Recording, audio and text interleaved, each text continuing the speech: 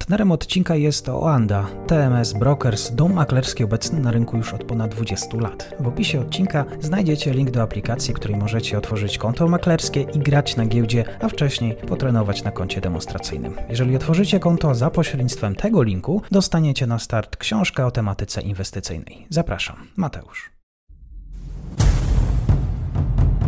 Raport z Ukrainy i rozmowy o Ukrainie na podróży bez paszportu.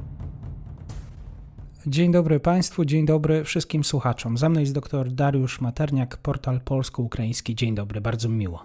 Dzień dobry, witam. Walerii Załużny to nowy bohater Ukrainy, głównodowodzący, jeżeli chodzi o siły ukraińskie. O tym już rozmawialiśmy, pojawił się nawet odcinek.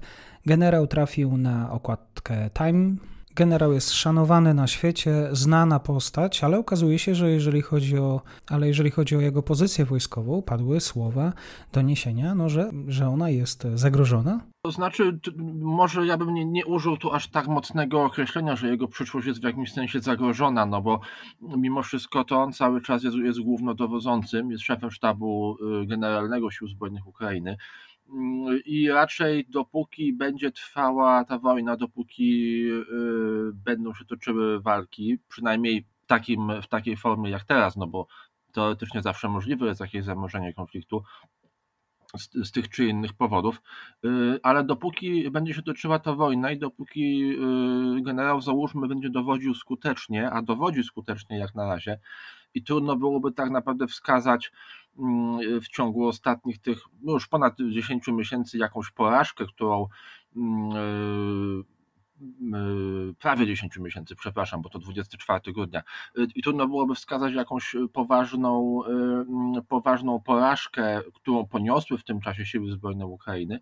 To wydaje mi się, że do tego momentu, jako skuteczny, sprawny dowódca, pewnie będzie tą swoją funkcję pełnił Mm, pełnił do, pewnie do końca wojny, jeżeli nic, nic po prostu innego nie stanie gdzieś y, po drodze na, na przeszkodzie.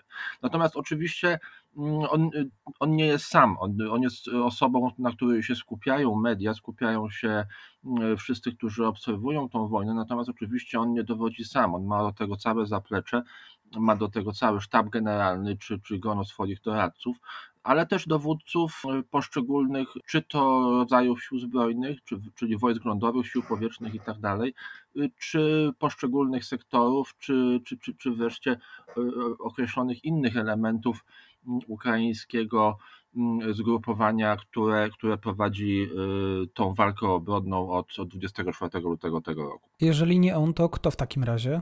No tutaj z pewnością kandydatów kilku co najmniej by się, by się znalazło. Na pewno y, obecny do, dowódca ukraińskich y, y, wojsk lądowych, czyli generał Oleksandr Syrski jest tutaj, y, byłby tutaj bardzo mocnym kandydatem, jeżeli, jeżeli mówimy o ewentualnym zastępstwie czy następstwie w, w, w przypadku generała Załużnego. Y, to wynika przede wszystkim z tego, że y, wojska lądowe y, ukraińskie, podobnie zresztą jak to jest w przypadku Polski i chyba większości krajów europejskich, mają, są największe, najbardziej rozbudowane, są najliczniejsze.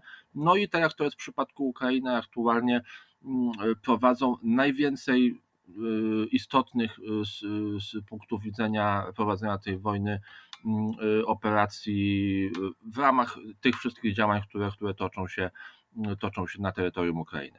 Tu też pojawia się postać samego Aleksandra Syrskiego, czyli osoby, która odpowiedzialna była za niedawną kontrofensywę.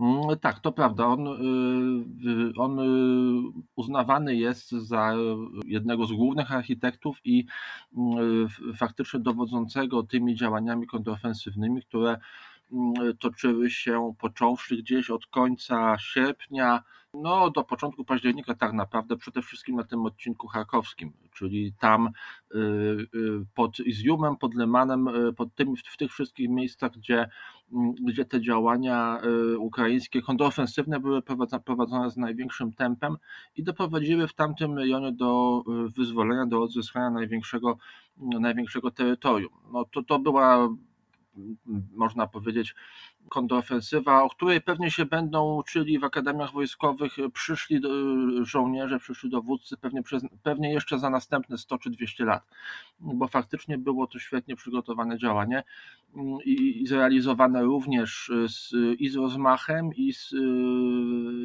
z wielkim talentem, widać, i, i skutecznie przede wszystkim, bo doprowadziło do takiego, a nie innego rezultatu.